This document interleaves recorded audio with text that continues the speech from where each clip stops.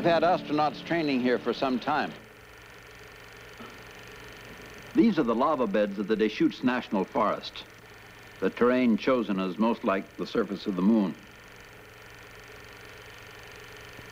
This is our objective, the moon itself. These pictures were sent back by Lunar Orbiter. Actual photographs of the moon's surface. Here you see a test firing of the first stage engines of Apollo Saturn V. Seven and a half million pounds of thrust.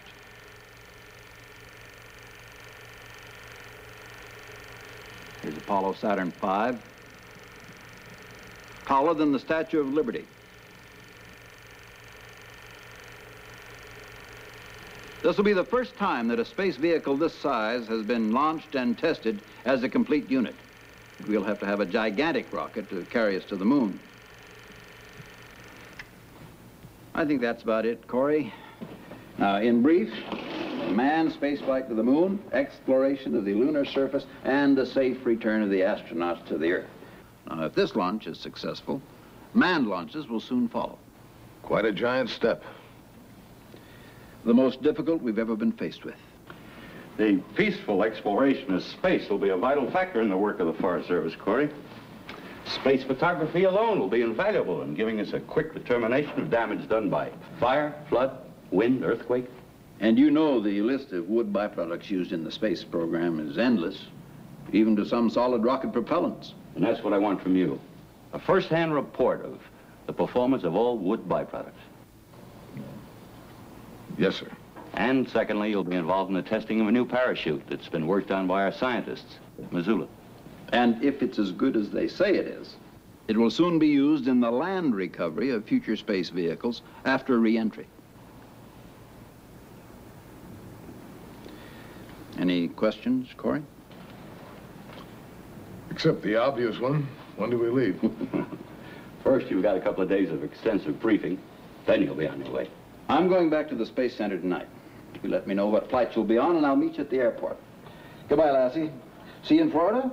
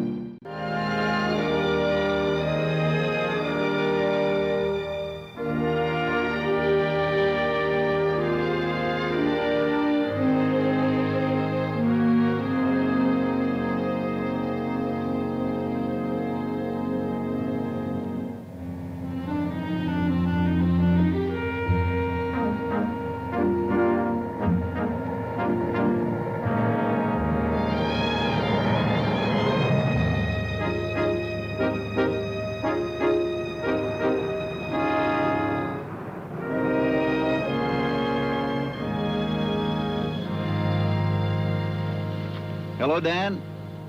Is the pass ready for Mr. Stewart? Yes, sir, Mr. Redmond. I understand you and Captain Chuck Conway are pretty good friends.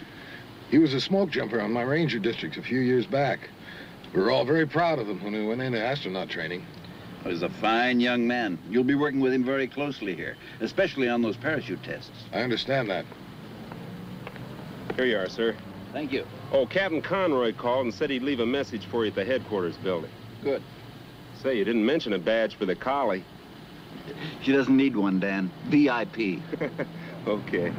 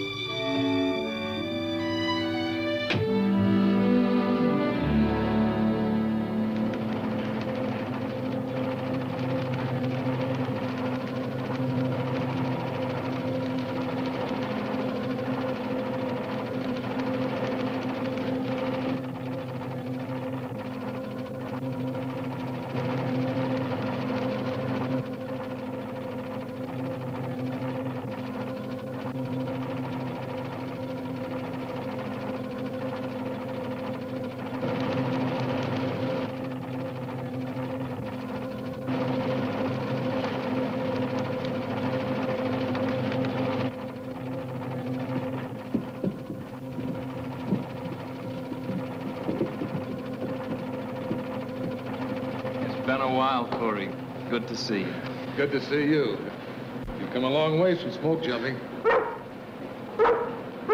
Hey, what's the matter, Lassie? Well, don't you recognize me in this getup? Sure you do. Good girl, yeah.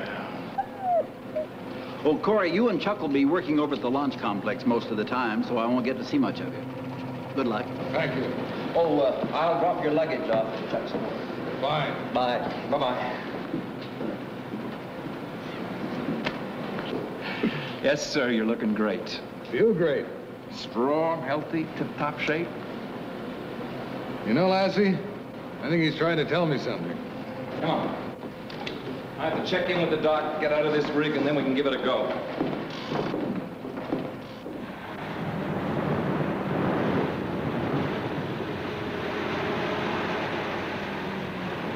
That's one of our boys now.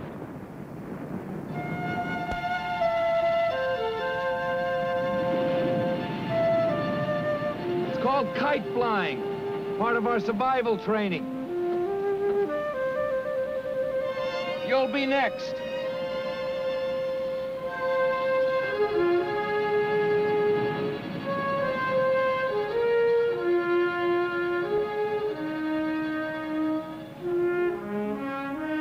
I thought you were my buddy. Oh, I am. That's why I want you to share in the fun that we dedicated astronauts enjoy. But I'm not an astronaut. You never can tell. Civilians will be traveling in space before long. Come on.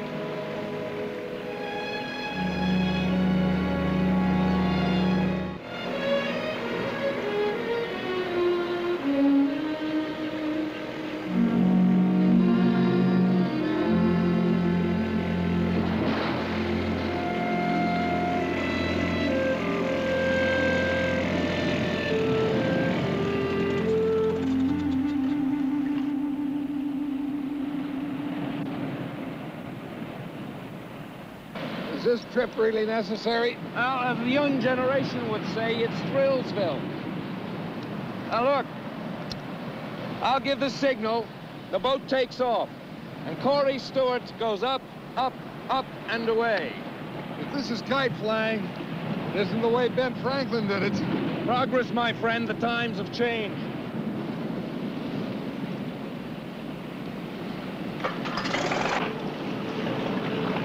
Okay, take it away.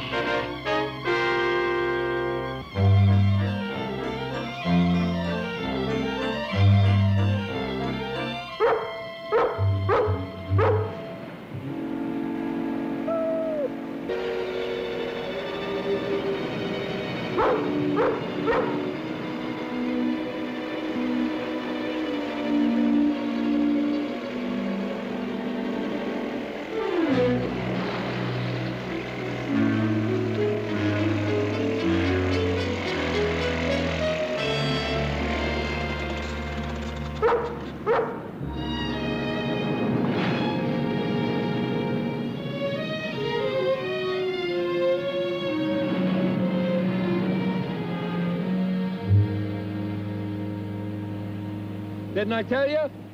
A thrill a minute out there. What else do you fellas do for laughs? I gotta admit it beats the Ferris wheel. Come on.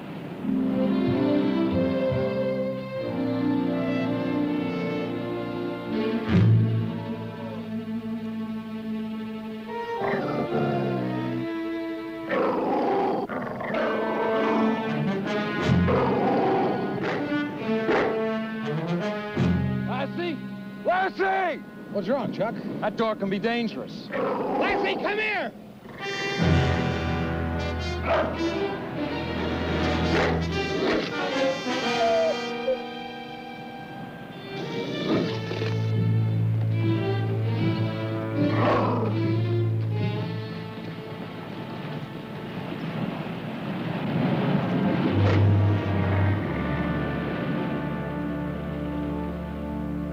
I'm sorry, girl. Atlas is no playmate for you. He was a guard dog here on the Space Center. His master died a week ago. Atlas has been running wild ever since. One-man dog, eh? Exactly. Trying to obey just that one man. That dog is hurt. He's limping. Anyone tried to catch him? Sure. Boys from Fish and Wildlife have even put food out to try to lure him in. He won't touch it. He's been trained to accept food only from one master.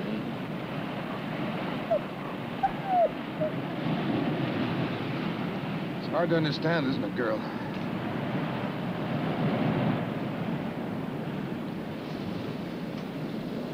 She knows he's been hurt. But she doesn't know how deep the hurt goes. That's the sad part. There's nothing can be done about it as long as he's out there running wild. Even if he is caught, there's no guarantee he can be retrained. Some of them never make it. What happens then? It's too bad, but uh, there's only one answer.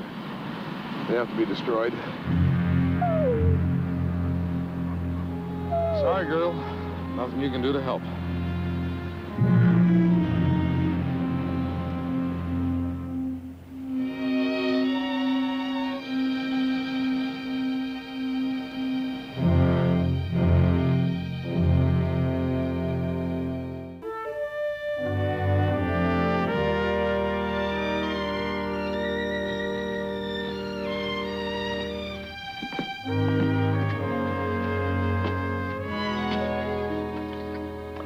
As you know, the chutes we use carry a lot more than men.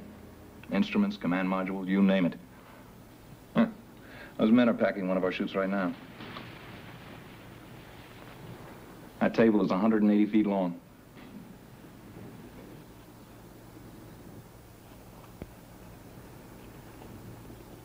Of course, future space ventures are going to need better and stronger chutes. That's why we're so interested in that new one that your boys at Missoula have been working on. Uh, last reports I had on it is due in the first of the week. Good. We'll do the lab analysis first. The actual high altitude drop will be saved for the last thing. He probably got plans to drop me out with it. That's a good idea. Come on. I'll show you some of the uh, testing rooms.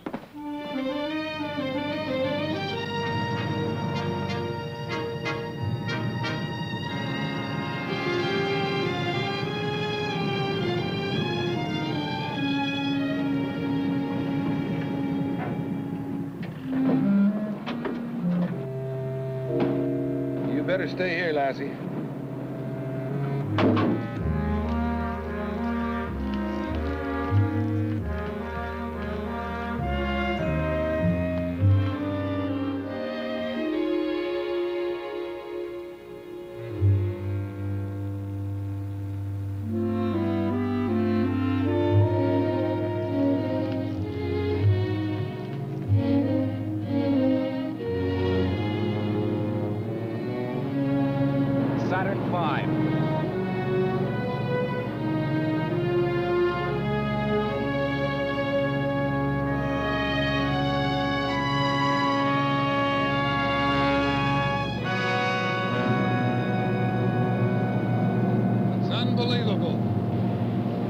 This dream in less than 10 years. Think of what the next 10 will bring.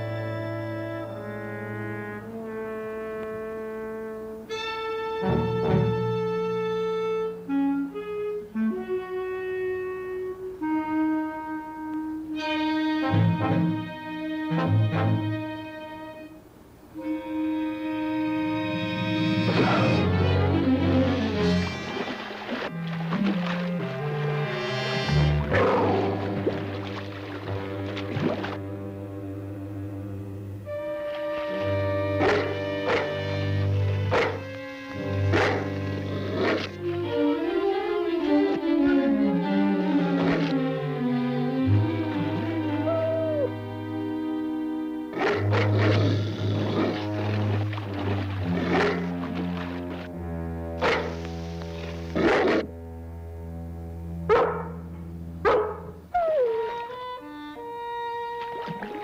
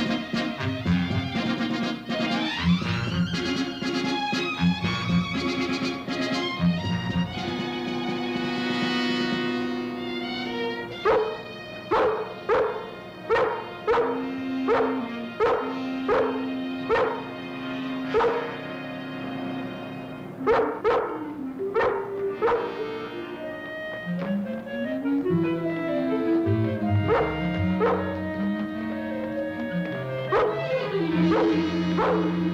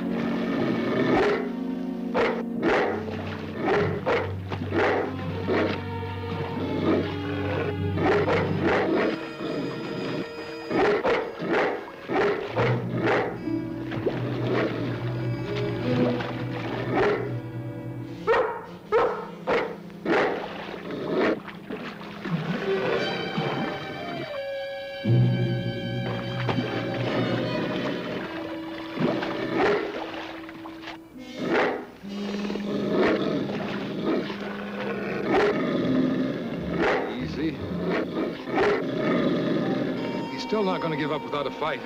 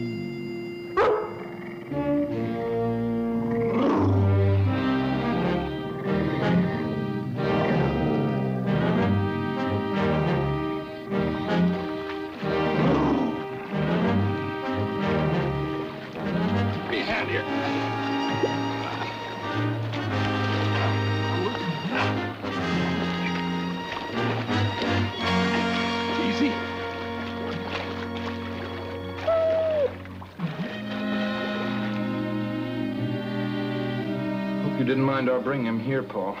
The nearest vet's at Cocoa Beach. I'm glad you did, Chuck. You know how I feel about animals. We've gotten the okay for the use of this dispensary. Everything I need is right here. Paul's one of our top biochemists. He's done a lot of work with chemotherapy and animal infection. You think you can help him, Doc? I think so. He's suffering from malnutrition primarily, and a paw infection. Somehow, we've got to get him to eat. You fellas uh, gonna make this dog your personal project? Yep. But we're gonna need your help. Might take a lot of time and patience. Love and affection. That's more important to a dog like this than food. Have to get his trust, break all of his old habits and training, and start all over again. I'm willing to try. We'll start out by making a rack. Rack? Well, that's a long pole to push a sterile dish in with food on it, so it doesn't have any human scent in it.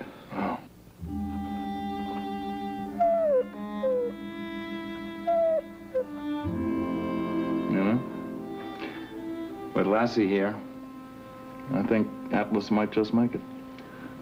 At least now it's a beginning.